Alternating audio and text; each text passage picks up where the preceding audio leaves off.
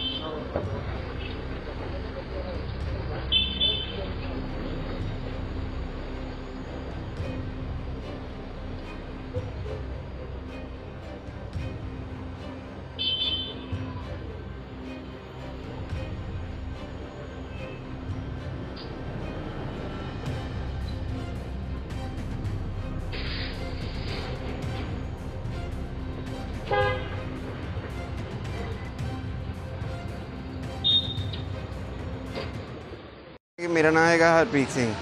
ਮੈਂ ਇੱਥੇ ਅਨਪੂਰਨਾ ਸ਼੍ਰੀ ਰਾਧੇ ਦੇ ਸਾਹਮਣੇ ਨਾ ਸਟਾਲ ਲਗਾਉਣਾ ਫਲਾਵਰਸ ਦਾ ਔਰ ਇਹ ਫਲਾਵਰ ਪੋਟਸ ਦਾ।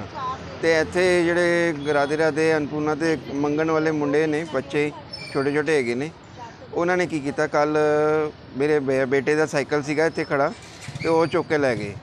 ਥੋੜਾ ਜਿਹਾ ਸ਼ਾਤਿਰ ਸੀਗੇ ਜਾਂ ਕੀ ਸੀਗਾ ਕਿ ਇੱਕ ਕਾਰ ਤੋਂ ਦੂਜੀ ਕਾਰ ਤੱਕ ਛੁਪਾ ਕੇ ਫਿਰ ਹੌਲੀ ਹੌਲੀ ਕੱਢ ਕੇ ਲੈ ਗਏ। ਇਸ ਗੱਲ ਨੂੰ ਦੇਖਣ ਲਈ ਫਿਰ ਮੈਂ ਸਵੇਰੇ ਫਿਰ ਸੀਸੀਟੀਵੀ ਕੈਮਰਾ ਕਢਾਇਆ ਅਨਪੂਰਨਾ ਤੋਂ ਤੇ ਉਹਦੇ 'ਚ ਮੈਨੂੰ ਸਾਰਾ ਪਤਾ ਲੱਗਾ ਕਿ ਵੀ ਕੌਣ ਲੈ ਕੇ ਗਿਆ, ਕਿਸ ਤਰ੍ਹਾਂ ਲੈ ਕੇ ਗਿਆ।